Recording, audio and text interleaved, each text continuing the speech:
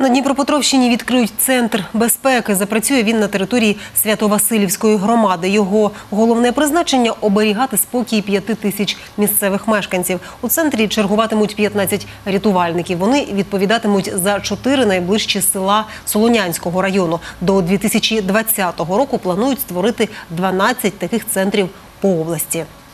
Такі центри відкриваються, ви бачите, в самій багатій, е, спроможній громаді, це Слобожанська, і е, трошки бідніший це е, Свято-Васильівська громада, але фактично е, кошторисна вартість такого центру складає 6 мільйонів гривень.